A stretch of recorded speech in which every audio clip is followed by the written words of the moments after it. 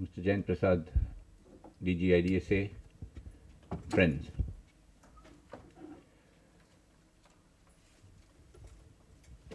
The topic, in one sense, is topical. It's the buzzword today, especially post the Paris attacks and the San Bernardino, uh, in California attacks.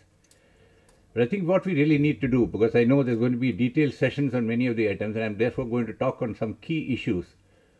Who is a radical? And what does radicalization mean? I think all of us, in one sense, uh, we've been radicals in our life at some point or the other. We've always been the element of sometimes frustration at the status quo and so on. We want to do something. I know lots of top economists in India who actually left St. Stephen, joined the Naxal movement, etc., and then they came back when they realized that you know it, it involves also cutting of throats. They thought it was all idealism, reform, etc., which is there in the youth. So radical ideas are all is there, is part of our what shall I say? It's a part of any multicultural democracy, etc. Radical ideas will always be there. As somebody mentioned uh, during the tea break, all progress has taken place through radical ideas. It's not taken place through status quo. So we have to be very careful. And I think if you look at the literature on radicalization or definition of radicalization, there's any number from A to Z of what is defined as uh, radicalization. For the purpose of the subject in terms of growing security challenge, I think we have to be very clear what we mean by radicalization. We are not talking of somebody who has got radical ideas or who's got, we are really looking at people who are, shall I say, a process by which their thinking goes to, what shall I say, extremes of taking violent action. And, or they look at people who are also looking at curbing, in one sense, freedom of expression, speech, etc thinking. These are the two things which we really have to worry about in our democracy. One, because we don't accept violence as a means of uh, resolving our problems, and we believe that there is a freedom of expression which everybody has the right. You don't, you don't, you can, everybody can speak out their views. You may not agree with it, but he has the right to speak out. So long as, as you said, he's not inciting somebody to violence, or you're creating you know, communal hatred or whatever it is, you're not doing that. So if we are clear on that definition in one sense of keep that as the parameter, not the general uh, radicalization, then you will find that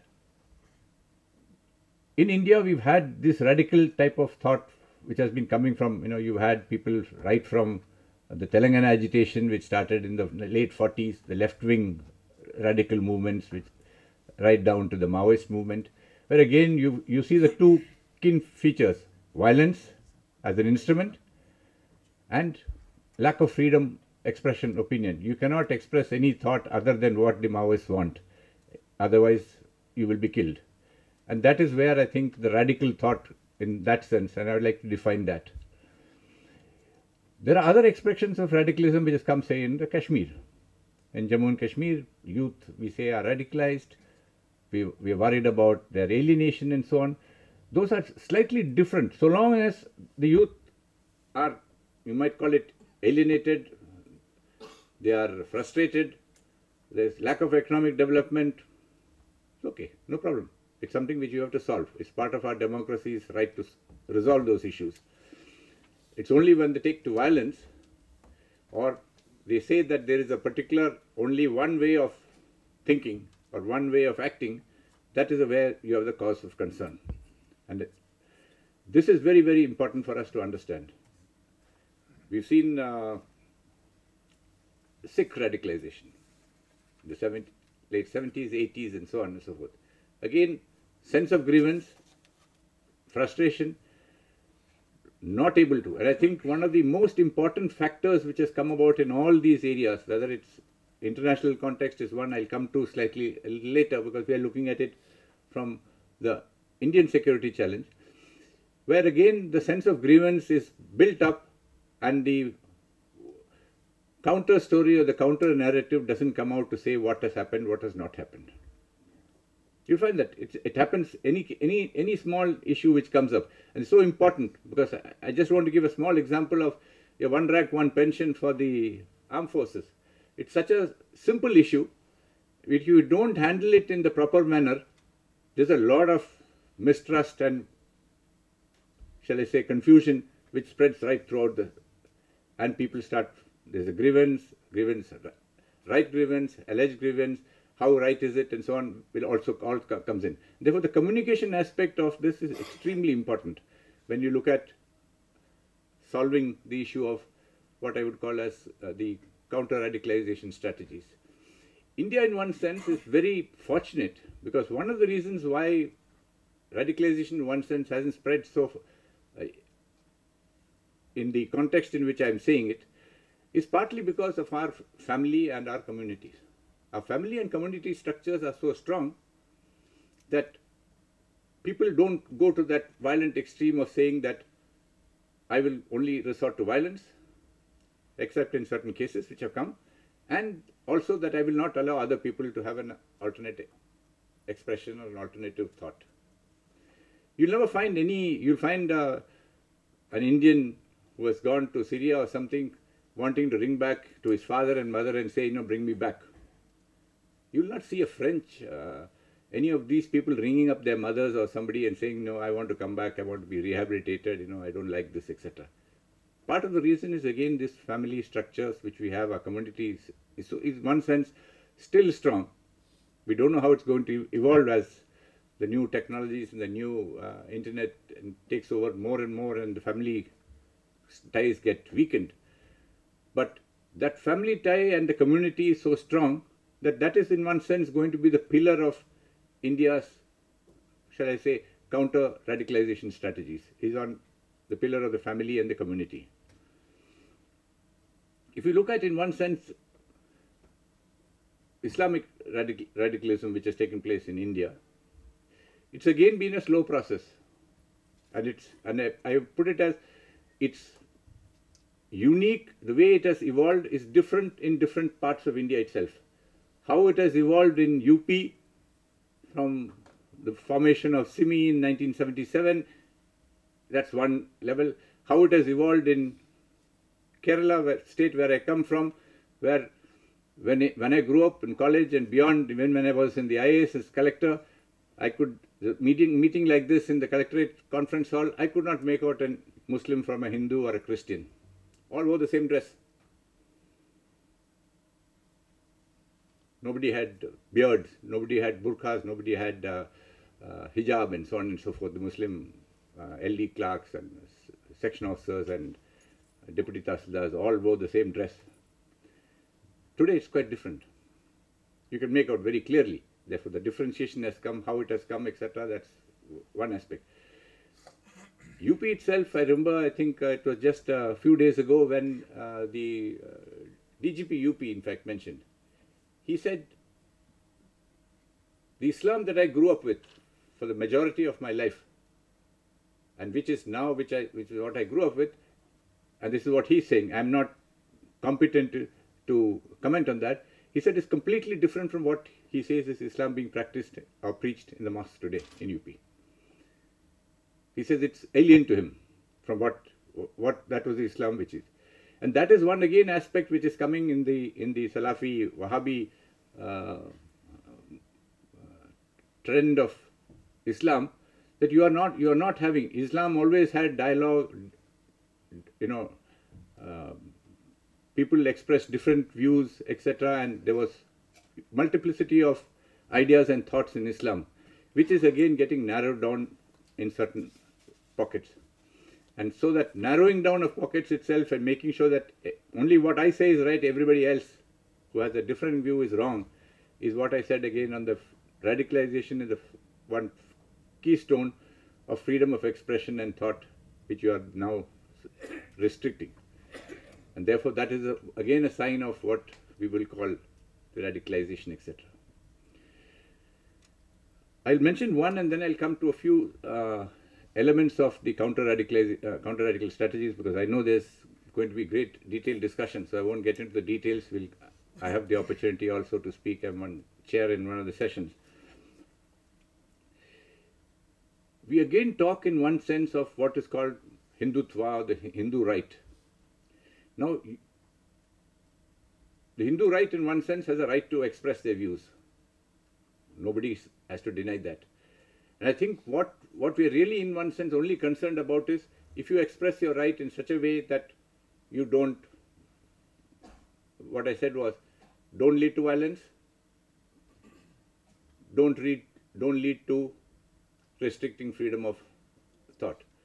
Because in our constitution, we have our safeguards and so on and so forth, and I think uh, the Chief Justice of India was, I think, extremely, uh, I think, a very apt statement which he made. He said, you don't have to worry about the courts is going to protect everybody, including the rights of the minorities. Uh, the, the, rule of law will prevail in India. Said the courts will ensure that. Courts alone will not ensure that because public opinion, public uh, activity right across the spectrum, across communities, is essential in one sense to mold uh, public opinion. If you look at uh, the on the countering radicalization and I think one of the key elements is what I would call as a strong state and the rule of law. Wherever you don't have a state which has collapsed, which you've seen that all over the Middle East, which is happening, or in uh, in Libya and Somalia and so on and so forth, ground for extremism comes in, and the rule of law. Rule of law is two ways. It's not just the rule of law which favors, in one sense, the rich, but I remember what uh, when uh, we were discussing left-wing extremism in the Home Ministry and so on and so forth, a rule of law which makes sure that grievances of the people are effectively redressed as fast as possible at the local, local levels. We have a lot to learn in that, which one of the reasons for this frustration, this grievance, which pushes people towards violence, is again because your grievance redressal mechanisms are not effective enough, not fast enough. And if, you're, if it doesn't, and that, that, is why the attention to detail is so important. And I keep telling administrators that, you know, people say administration is, you know, anybody can do, it's a generalist first. It's actually a very professional service in, in its own right because of the way the administrative bureaucracy itself is. Just to give you one example, the Chhattisgarh government, as part of, we said we found out there were over a lakh cases in Chhattisgarh against the tribals for violation of various provisions of the Minor Forest Produce Act. So tribals will pick some berries and they'll say it's a violation of section so and so of the Forest Act and the case is booked against them and they have to go to the court and local munsif or local magistrate, you know how the courts will send them 10 adjournments, 30 adjournments, they waste one day going to the court, coming back, it's a day's employment lost. Great persuasion that Chhattisgarh government finally said we'll withdraw all cases. One lakh, government order is issued. Copy sent to the MHA. We are all very pleased. We just by so abundant caution, I actually asked the um, CRPF people, etc., who are because now you had people all over the place. I said, please go and find out what is happening in the ground. Six months later, we found that hardly anything had moved on the ground. And that is again partly because what happens is that those orders have to issue from the state government have then to go to the districts, the district collectors. From the district collectors, it has to go to these uh, APPs and the special prosecutors. The special prosecutors have to then go and file a petition in the court saying that government has asked these cases to be withdrawn and you can only withdraw it after the magistrate gives you permission to withdraw it. Now, if you don't any one of these steps, and we found in half the states, the order of the government had not reached the collectors. Some of them, and from collectors, it had not reached the special prosecutors. And some of them, the special prosecutor is lying in his table, he has not gone and filed the petition in the court. So, if you don't follow all these procedures, you will take a decision which is very fair, but actual grievance redressal on the ground, the, the tribal is still again going month after month to the court, wasting his one day's wages and getting frustrated over the whole exercise. I mentioned the fact on, on the family and the community, which are now critical. And in fact, in the in the Home Ministry, what I understand, that is in fact where uh, the whole uh, focus of all attention is now on the community and the community leaders and on the family. If you try to get that bond and that dialogue going, you will find that uh, the element of radicalization leading to, because today you cannot stop people from having access to radical thought. An open society, any amount of. You have prisons, which is again now the focus in the Home Ministry as prisons as a breeding ground for violence, violent extremism, and therefore people have tried.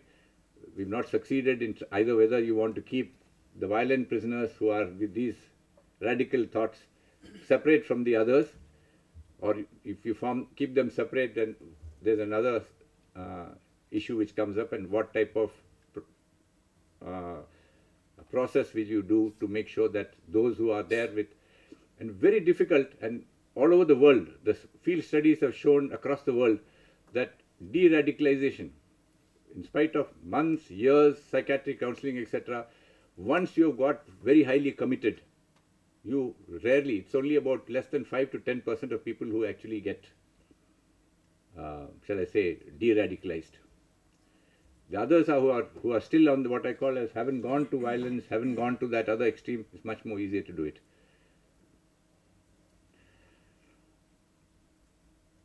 And what is important in, Indi in India today is also to do what I call as the empirical studies. We don't have enough empirical studies on why people join, why people come to this particular this thing. What are the causes? What is the age group? What is the profile? Who has been the peer group? How long does it take for somebody to get into the system? And unless you have a lot of these field studies, we are going by what I call as just, you know, my intuition. Uh, somebody is in the field, I, I interrogate three people, they tell me something, right, wrong, I don't know. Is that, can I make it across the board? And because these studies are not there, and I think possibly for the IDSA, a, it would be a very useful uh, aspect to study some of these things in very great detail.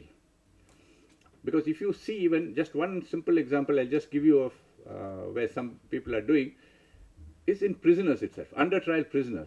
Now we know the under trial prisoners are, very large number of them are from the Muslim community and from the scheduled tribes and scheduled castes. I'm not looking at whether, but a study done in, I think it was Muzaffarnagar, uh, showed there are 3,000 prisoners there under trial. I'm talking only under trial prisoners. And bulk of them, you would think that they are being tried for terrorist offences or other things, etc., which is not the case. They're actually being on offences are under the so-called orders of the UP government under the Arms Act. You can't have more than a six-inch dagger. So if you have, if you are in possession of a six-inch dagger, you are booked.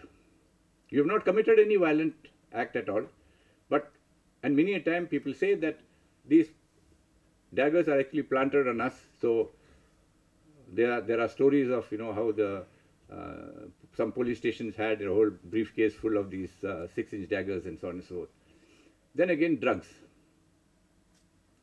And there's one more, I, I forget. These are three cases under which these 3,000 prisoners in one jail, I'm talking about one jail, 3,000 under trial prisoners are actually being, and they are not able to get bail because of and what people come as the legal uh, uh, aid, and this is again what I call as the studies which are required. People say, look, you're not able to get bail, you're not, there's a whole, magistrates are not giving bail, etc. Why don't you, when the legal aid societies come, accept the offense and you are out? Because they are not getting bail. Many of them, because their lack of knowledge, they say, parents are saying, you know, ghar aa jao and so on and so forth. So they accept. Then what happens is that you have now become a convict. You are convicted of the offense and then you've got out. And when you get caught a second time, or if you want to put it that way, even if you're framed a second time, then you are now makes it much more difficult for you to because you are already got a guilty verdict against you which you have agreed to on your own. Now these are the type of I'm just I'm only putting it in the context of what I call as grievance redressal and how the grievance redressal, frustration, the rule of law, your sense of injustice, if that is not looked at, you will then find it's a breeding ground for radicalization of the level which I am doing. And wherever we have found that we are able to provide the grievance redressal mechanisms, reach out to the people and then say that we are able to solve your problems, you will find a sea change in the material. And that is where the key element of our counter-radicalization study is across the board. It's not something which any one agency can do. It's agencies which all of us have to do, both as citizens of India. I'll have to ask, how many Muslim friends do you have? How many of uh, the Hindus will actually, how many of Muslim friends are invited to your house for socialization and so on and so forth? What was the position 10 years ago and what is the position now? Is there a difference and so on? Are some things questions which we have to ask of ourselves? Are we also, in, in one sense, getting ghettoized into our own social uh, packets? And this is something which is happening in Facebook. Because Facebook uh, studies have now very clearly shown that you have a group, 40 people, 100 people, whatever it is, all of them are of the same view of thought. They may be uh, pro-liberal, anti-this, anti-that, whatever it is, but they're all of the same thought. And people who are in that group who are not, of, shall I say, of that view, they're actually thrown out. What you call unfriend you. You're not a friend anymore, you're unfriend. And then you're kicked out. And therefore you are you get thoughts, you get articles, you get uh, opinions, you get this thing, everything which reinforces your own thought. So you think that you are right. Because 100 other people in the group all support, you, you express an opinion, everybody says very great opinion. It may be prejudiced, it may be, and therefore it is. And therefore use of the social media, which is very critical, and I'm sure there's a, there's a big uh, session on that, is extremely critical because both Facebook and Twitter are now, Google itself, are now into this whole aspect of looking straight away into this. And I think you've seen President Obama's statement that he's going to actually ask Silicon Valley to find the software which will be able to identify the key uh, thought processes in uh, in the radical uh, ideologies and have them equally removed almost on a simultaneous basis. You put it up and it, you have these keywords in those which are inciting to hatred, to violence, etc. And your website will just automatically be deleted as you put it up. So you, even though they've said 120,000 websites have been deleted, but uh, we know that any number of websites can be put up daily. So it's a continuous battle which will have to be fought both on the technological front and others. So it is something which is for all of us in one sense to deal with. It's not something which, and every single action of ours that we take, which promotes communal harmony, which promotes the sense of justice, which promotes the rule of law, is in one sense going to contribute to increasing security for India. I'll stop here. Thank you very much.